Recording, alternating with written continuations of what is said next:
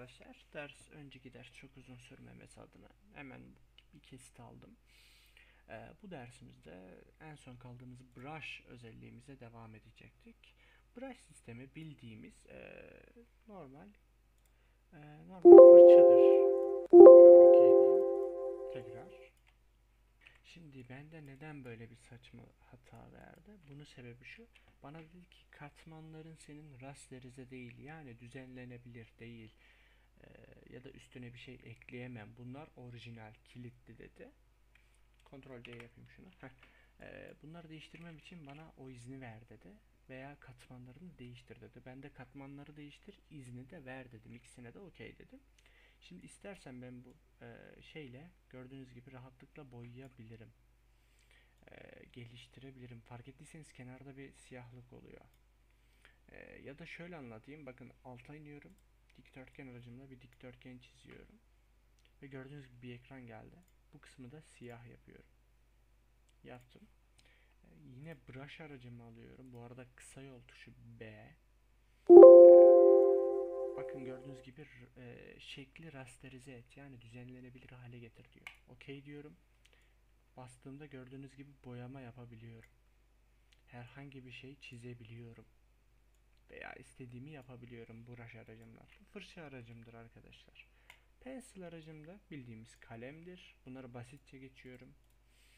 Ee, color replacement ise renk yerleştirmesidir gördüğünüz gibi. Var olan rengin üstüne bir renk yerleştirir.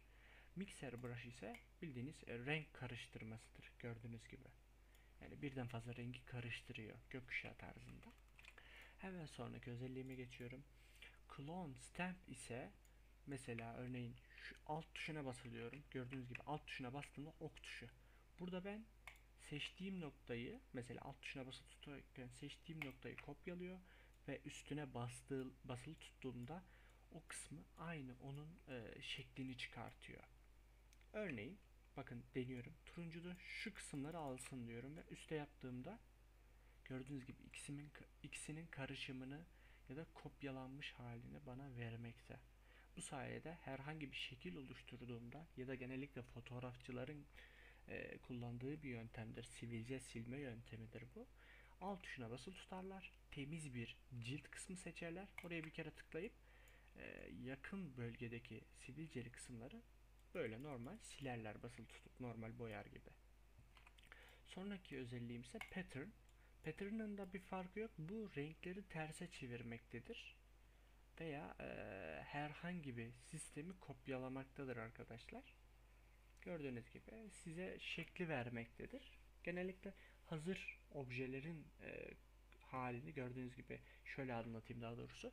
Üst kısımda bulunan mesela örneğin ağaç stilini ben bununla yaptığımda bana kopyalanmış halini direkt buraya yapıştırıyor. Kısacası e, beyaz bir zeminin arkasına bir fotoğraf yerleştirdiniz. O beyazları siliyorsunuz gibi düşünün. Sonraki aracım ise History Brush. E, sesten dolayı kusura bakmayın.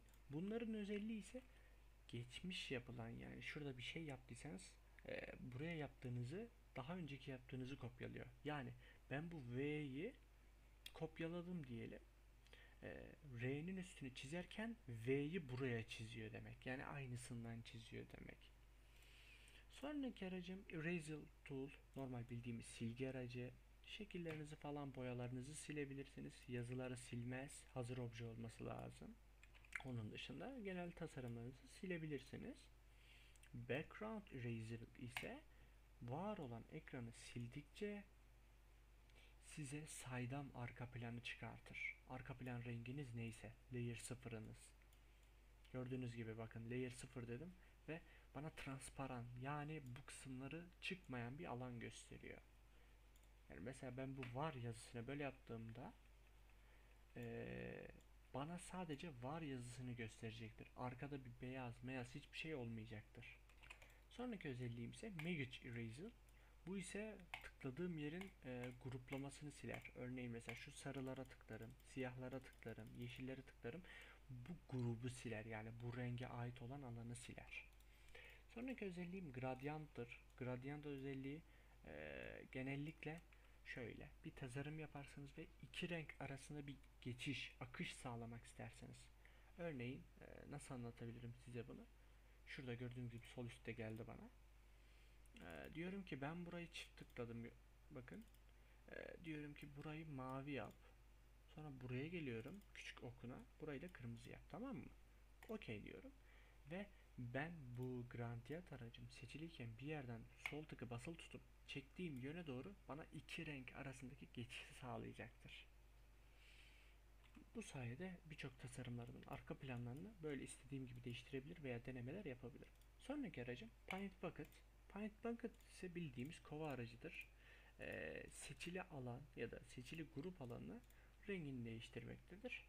Sonraki aracım 3D Material. Yani 3 boyutlu materyaldir. Bunu 3 boyutlu dersimizde göstereceğim. Sonraki blurdur. E, bulanıklık vermektedir fotoğrafıma. Sharpen e, genel olarak yakma ve e, şekil aracıdır. E, belli şekiller üzerinden e, resmi dizayn eder.